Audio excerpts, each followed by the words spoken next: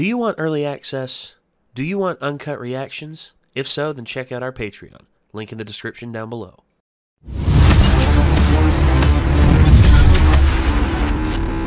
Stranger Things. Stranger Stings? Stranger Things. Stranger Stings. Yeah. Chapter 3 of Season 4 The Monster and the Superhero. This, this season so far has been definitely the most horror inspired. Oh yeah. Like holy hell, the opening at the opening two episodes alone have just set such a beautiful stage for some very creepy horror like horror inspired stuff. The way that they the people are dying with their eyes getting sucked out, their their bodies getting just crumpled up like a piece of t- like a piece of tissue paper. It's super creepy. It, it plays with like some body horror elements and also some like uh, Nightmare on Elm Street, like you were talking about in the very first episode. Yeah. It's And- like a different take on Freddy because he kills you in your dreams. This guy's like projecting himself into your thoughts by the seemingly look of it and then killing you from like within your thoughts is what I had would have to guess. I also wonder what he means exactly by I want you to join me. Again, I think Wonder it- if he's like sucking their souls out of their body when he does that to them or something. I think he in in some way. It, I'm not 100 percent sure on it, but So that would be another this is- parallel to Freddy if so. Well, yeah, and I think this is probably going to lead to him getting more powerful. The more people he does that to, the more powerful he gets. I can't remember if they ever specifically stated or if it was hinted at, but like there was the whole thing in Nightmare on Elm Street where I think you see about three or four, like when he lifts his shirt up and he's got the faces of the, The souls kids that he's the- killed. Yeah. And like every time he goes to kill someone, he cuts himself first. And then that's a place for the soul to enter his body. I could see that. And I can't remember if they ever explicitly stated that, but it makes sense. He's like, watch this, cuts his fingers off, you know? He lifts his shirt up and cuts himself in another scene. And then later on, you know, he shows off the souls and like he's eating the souls, like he does the spaghetti thing with the meatballs. Yeah, that's that's one thing I see that too. And I think maybe that's what's going on here. I don't know, but I'm extremely intrigued. Uh, they found Eddie in the last episode, which I'm glad Eddie finally has someone to help him now because, you know, Yeah. if he would have to deal with the sight of that and also everyone hunting him down and no one would believe him, Yeah. I mean, Jesus. Well, not to mention like the where he had that bottle. If Jock Dude had found him first, I feel like he probably would have killed Jock Dude. Oh, no doubt. So No doubt, because Jock Dude would have probably just, like, it's good that they went ahead and found him now, and hopefully they can keep him away from the people that are after him for the time being. I guess we'll have to see. So let's go ahead and hop into episode three The Monster and the Superhero. Here we go. No bad. Oh, oh, it's him.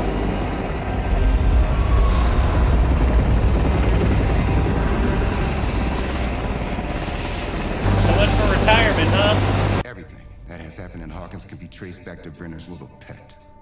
Wouldn't you agree? Remote assassinations. What you're suggesting is impossible. Is it? Eleven is dead. I'm not convinced. Why are you taking that box? Those are Peter's old school projects. You do not need those. Sam, do something. There's really Nothing nothing he he can can do. Hey, at least there wasn't an ice skate. That nose would have been sliced clean off. Ah, ah, it could have been so much worse. Argyle, shut up. Well, on a positive note, no one's gonna fuck with you in school anymore. I don't know. Everybody else might fuck with her now for being the kid that broke the Mom, girl's face with the skate. aren't you out of sight for sore eyes, huh? Mary. Kids like risotto? out I have to go to a conference tomorrow in Alaska. Alaska? Jonathan, this means you're gonna have to, you know, take charge while I'm gone. Wait. What? What's going on? He's Alaska. baked, Alaska? bro. Baked. What is wrong with you? I don't think I know what's wrong with him. Stressful day. Stress, huh? This girl got smacked in the head today at the roller rink. Smack. Yeah, it was one of those vicious skate attacks. Skate attacks? Yeah, but, but it wasn't like an ice skin. It was, um, She, she looked like she was gonna be fine. totally fine. She didn't look fine. Uh oh. Uh oh. Aren't you gonna finish your what? Is it the risotto? Everyone hates the risotto. Absolutely not. No, it's incredible. Fish risotto? Smack. Still have no idea who he is.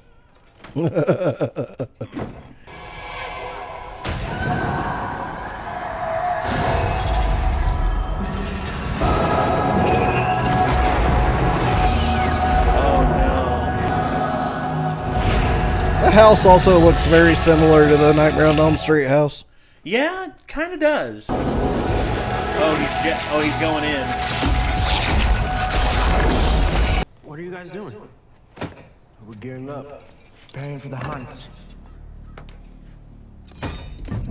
Hey, man. Relax. And we're not killers like Eddie. And we just want to talk to him. How it always starts. You didn't know Chris. By chat, they mean is they're gonna break his kneecaps and elbows.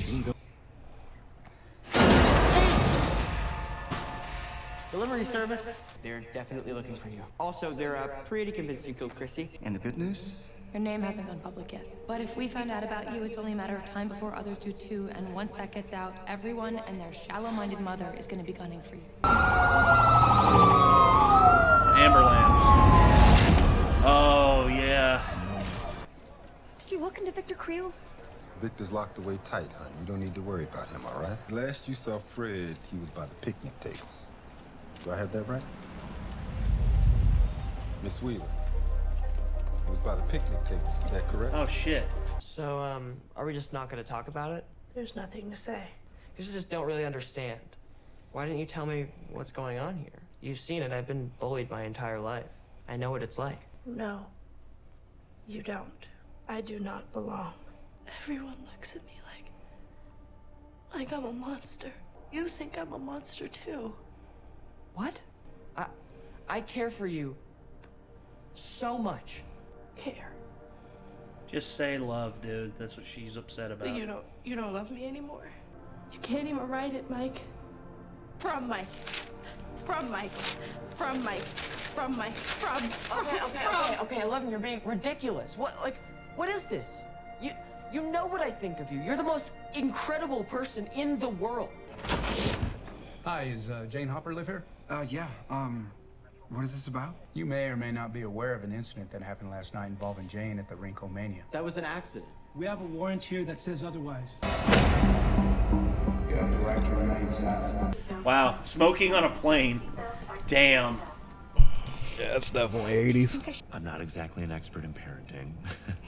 You don't say. But for what little it's worth, I think you did the right thing. Your children, bless their mischievous souls, they like to get involved. This way, what? They play too much Nintendo, eat too much junk food, smoke some ganja, pound some beers, experiment sexually. I mean, Bah, bah. what's Hey, Murray, that can happen? Murray.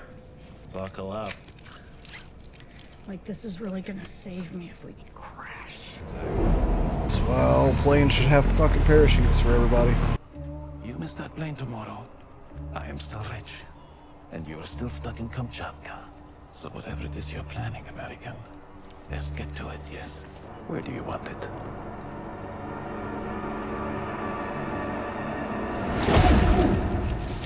Gotta keep up So you're appearances. saying Yeah. This thing. Why them? Maybe they were just in the wrong place. They were both at the game. And near the trailer park. We're at the trailer park. Uh, should we maybe not be here? Fred started acting weird the second we got here. Acting weird as in Scared.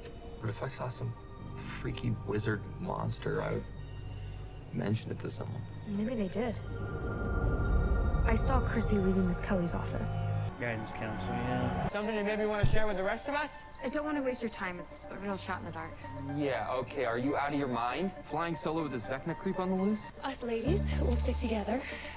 Always the goddamn babysitter. You're the mom, Steve. You are you are the den mother Why does he have to be Den Mother? Why can't he be Scoutmaster? or scoutmaster. I mean, I don't know. Uh, uh, that's not great. That's another world bleeding through your ceiling right there. Yep.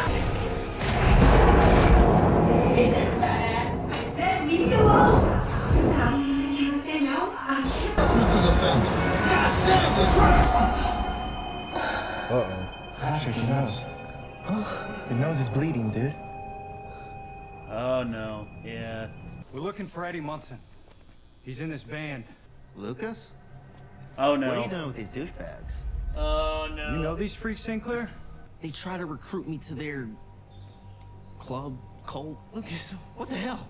Well, you have eyes, don't you? He's not here. Hey, man! Oh, fuck you, dude. I told you someone's gonna get hurt. Where is I don't know! Where is I don't know! Hey! Hanson! What? Hanson Anderson! It looks like she's still being processed. Okay, so, uh, I mean, what does that mean exactly? It means they're putting her in the system, after which point she'll be transferred to juvenile hall. What? Jail.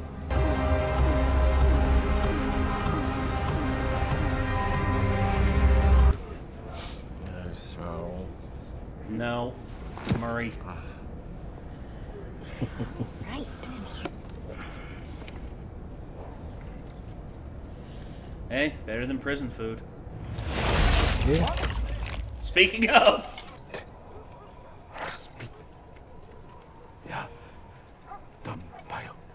Все тоже. Damn. He's a he's a healthy boy. He needs to eat.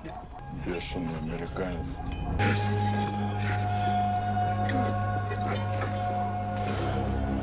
Oh yeah. Don't miss.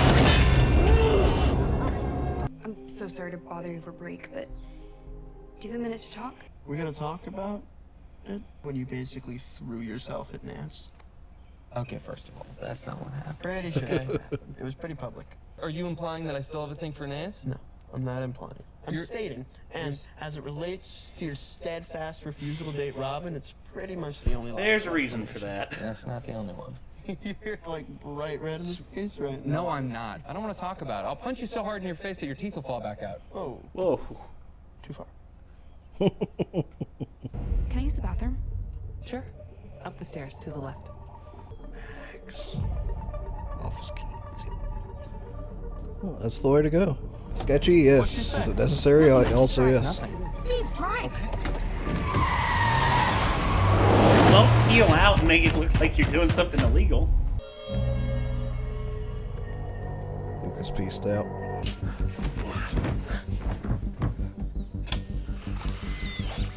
Dustin.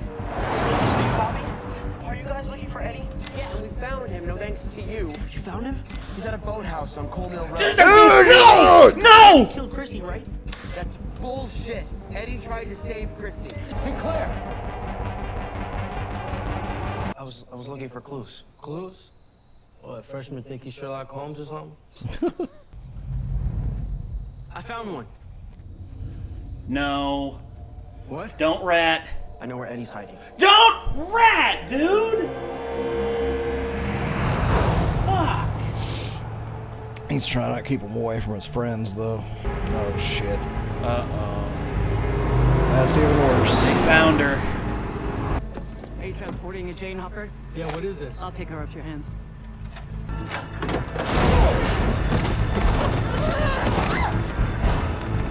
Good try. Hey, A for effort there, kiddo. Oh. Welcome to Alaska! Oh, fuck that. All right at home, man. Welcome to Alaska. Ah! Nothing about this feels welcoming. Uh-oh. What? They're checking everybody's chains. His is about to pop off.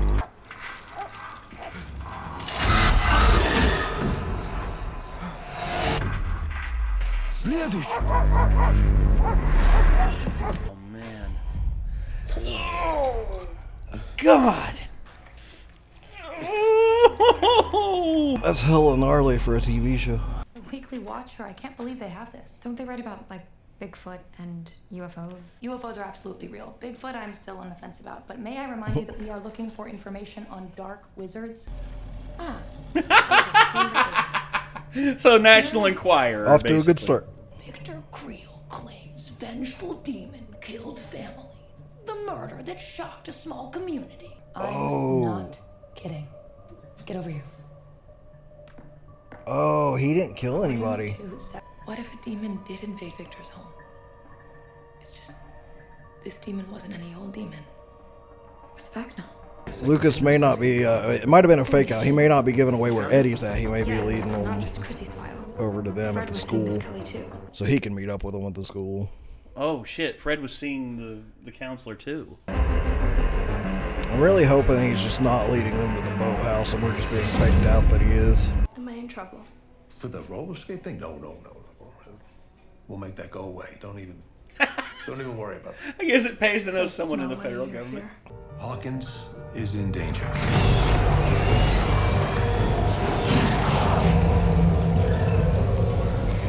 You have fought this evil before, and you've won. Multiple times. Where you at, freak? Oh, we left Hop's cabin. Oh, okay. That's your Okay, chance. Lu- Yeah, Lucas didn't off. rat him out. Okay, so Lucas Yeah. didn't rat them out. I didn't think he was going to. I think, uh, like the it was too on the nose with him just straight like Dustin just straight up telling him where he was at. Like, you Yeah. know, and it's like that was just there so they could pull this fake out pretty much. Run, Lucas, run, man. But they alone Turn your flashlight off. win this war. Not without you.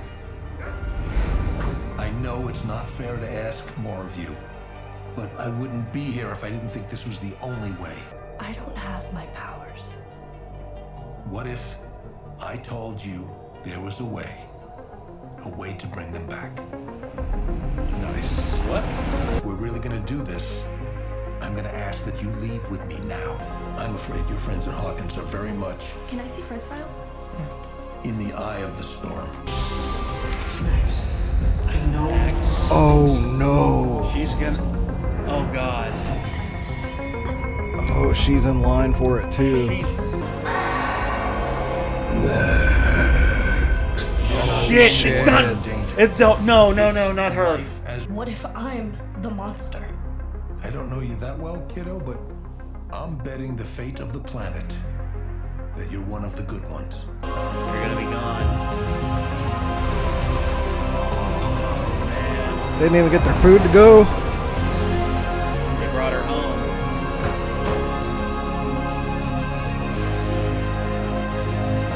Don't think they brought her home. I think they just sent them to They tell took, oh, they took them. sent them to tell them what was going on. Well, I'll say this: at least she's the one making the decision. You know. Yeah.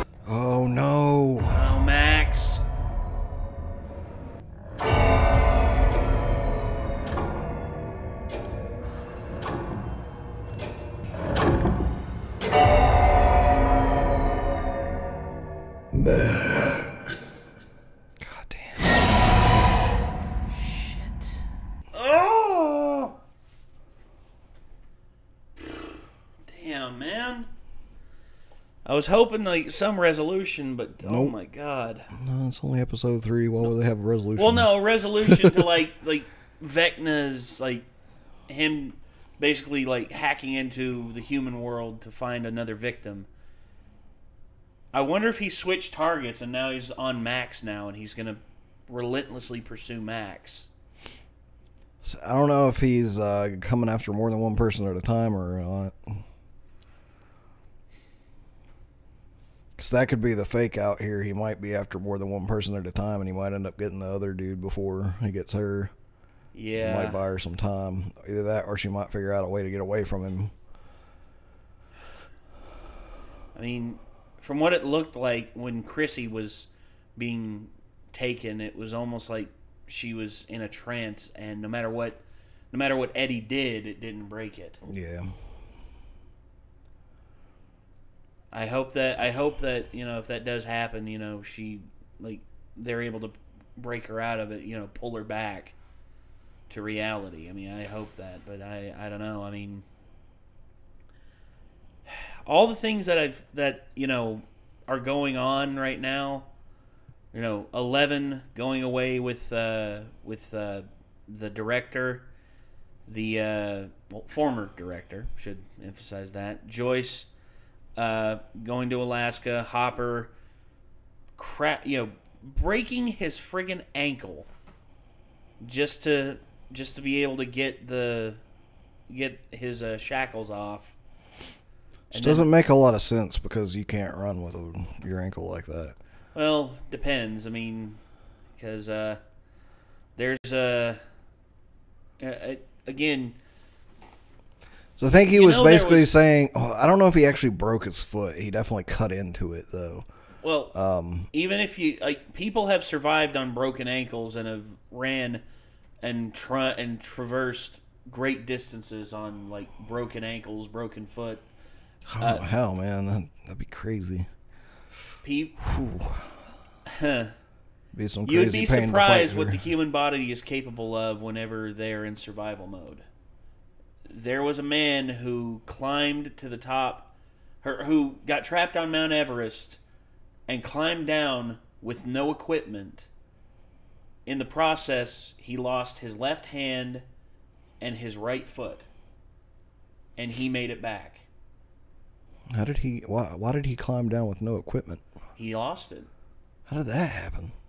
there was a snowstorm, and in the snowstorm and in the snowdrift, he lost his he lost his equipment. He hunkered down in a tent, hoping that that would uh, that that he would be able to like uh, you know survive through it. But then The storm blew the tent off of him and basically and blow it his shit away from him. got Basically, rid of his equipment, and he lost his uh, left hand. Uh, on the he lost the ability to use his left hand. He broke his left hand on the way down, and then he broke his uh, he broke his right foot on the way down. oh, I was assuming it was frostbite that he. Uh, no, frostbite's eventually what took it. Yeah. But he broke both of them, and because of poor circulation, frostbite set in, Oh, and then he lost both by the time he got to base camp. When he got to base camp, they had already thought he was dead because he'd been gone for well over a week and a half with no communication. They thought he was dead. But- Probably got there and he's like, "Y'all suck." well, no, he got He's like, down- "Why did nobody come to help me?" He got down there, and then eventually, like they they took him in and they gave him like res- like you know they got him warm. They gave they rehydrated him. They gave him food, and then they did uh, re, you know they basically did a diagnosis on how bad the frostbite was, and they told him that he, that he would lose his foot and his uh and his uh hand, and he t- he said cut him off. Yeah, at that point, I would be like, "Whatever, man. At least I'm still alive." That's again that, and you want to know the crazy thing? He climbed Mount Everest three years later after rehabilitating and getting a prosthetic replacement for his hand and a prosthetic foot. Did it again. Yep. nice. He he re, he climbed Everest and he succeeded the second time he tried. Again, the whole thing is just like what the human what the human body is capable of when it is pushed to the breaking point. You find out just how impossible like how impossible certain thing like the, the impossible things that human beings are capable of. There was a man who got lost in the Sahara Desert and he was he basically gave up and tried to slit his wrists, but he was so dehydrated that the blood would not flow from his wrists and it clotted too quickly and and basically he survived. And then he kept walking and eventually he found a settlement and then they got him help. He was lost in the desert for I think uh, like a solid week, no water or anything. And the fact he survived is a miracle. I mean, again, there are people who have existed that have gone through amazing things, and to think that they survived, like, it's it. You would think that I'm lying to you, but it's real. Yeah. There was a man who was from my hometown. He was struck by lightning seven times. Yeah, that's ridiculous. Yeah, seven times. Oh, and he lived, and he lived to. Was it during the same storm 70s. or seven different times? Seven different times during his life. At a point, you would think he'd stop fucking going outside during thunderstorms. Well, the thing is He's is, probably like, I've been hit by lightning six times. No fucking way it'll he happen was, again. He was a park ranger, dude. That was the crazy thing. He was a park ranger, and he kept getting struck by lightning. And he lived to be up in years, and then later in life, he sort of lost his mind, and uh, he he offed himself. He's probably on time number one. He's like, got hit by lightning. Uh, oh, got to go out in a thunderstorm. Lightning never strikes the same place twice, right? And he's like, so that was a lie. And then he's like, "Well, the chances of me getting hit by lightning a third time are just exponentially small." God damn it! Like, you know. Oh, I was wrong. Yeah, 11 seven times. times. He'd been hit by lightning on seven occasions. The human lightning conductor, Roy Sullivan. Yep, he was from Greene County, Virginia. Right, right. And he was a Shenandoah National Park ranger, and he uh, died in 1983 at 71. Did he die from getting struck by lightning again? No, he, like I said, he offed himself. Oh man, what the fuck? Well, eventually, How you gonna survive getting hit by lightning seven times and then take yourself out? What the fuck? Well, again, his whole thing was uh I think it was let's see. Where was the Yeah, here it is. So, first one in 1942, then 69, 70, 72, 73, 76, 77. Struck while fishing in a freshwater pool. Why were you fishing during a thunderstorm? Well, uh Uh, oh god. His wife was also struck once. And it all happened in Virginia. That's the shittiest thing. It happened it happened in Virginia every time. oh my god. Uh yeah, Roy Sul- Roy Sullivan. He was a hell of a man who actually existed, and you wouldn't believe it if it weren't for if it weren't for the fact that he actually did, did exist. Yep, apparently he's in the Guinness Book of World Records for getting struck by lightning that many times. uh, Like, dude, I would start wearing nothing but rubber. Like, like after like three times, I'd be like, I gotta build myself a fucking you'd be the rubber suit, Man. a rubber suit with a rubber hat, and like I'm gonna wear that bitch at all be, times. You'd be the Michelin Man. So it's Oh like after three times, you got to start thinking about ways to keep it from happening again. Know what I mean? It's like if I Oh, got fucking bit by a shark twice, I'd be like, "Yeah, you're never gonna fucking convince me to go any fuckwhere near the ocean again. Fuck all of It's you. like it's like fuck the water, dude. I ain't Your chances of getting, shit. I don't give a fuck. Fuck you. I ain't going back in the ocean anymore. It's like shut up. I'm not going back. Leave me alone. Fool me once, shame on you. Fool me twice, or yeah, fool me twice, shame on me. Right? Yeah. Fool me three times. Go fuck yourself. Fool me three times, I'm a fucking idiot. Like, Oh, there's God. clearly something clinically wrong with me if you fooled me three times. Like, Clearly, absolutely. Uh, all right. Well, that's gonna do it, everyone. This was Stranger Things season four, episode three: the monster and the superhero. So hopefully, Eleven gets her powers back and she's able to assist in some way in fighting Vecna. I guess we'll just have to see.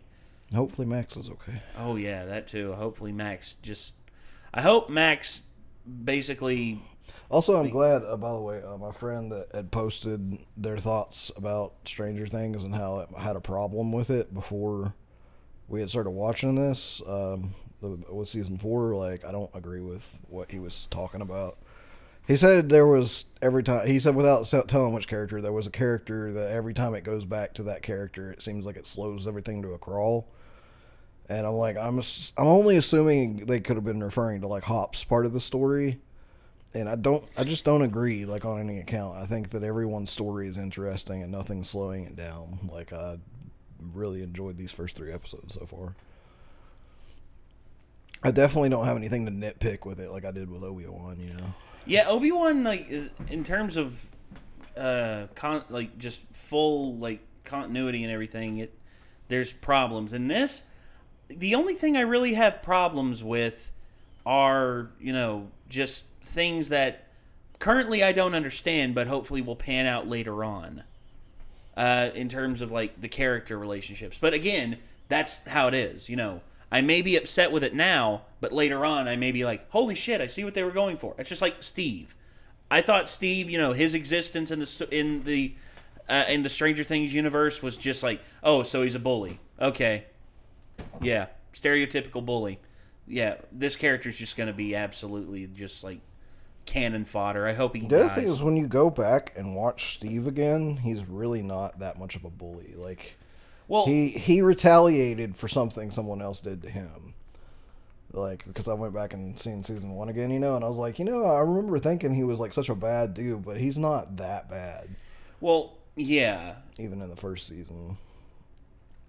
They definitely set it up in a way to fake you out into not liking him until he starts to have some character development. Yeah, I yeah, but I, either way though, my thoughts on that at the time were just like, ah, this dude, like, I'm not gonna like this guy. And then by the end of the first season, I'm just like, holy shit, I see what they were doing. Because I also well remember like not really liking Jonathan either, because I'm like he's a fucking creep. Like he's Kind of, yeah. His voyeurism was a, definitely like a what the fuck kind of thing for me. But yeah, I get what you're saying. Anyway, but that's uh that's gonna do it, everybody. So uh anyway, I guess until next time, signing off. I'm Nate. I am Nick. Take care, everybody. We'll see you in the next one. Peace.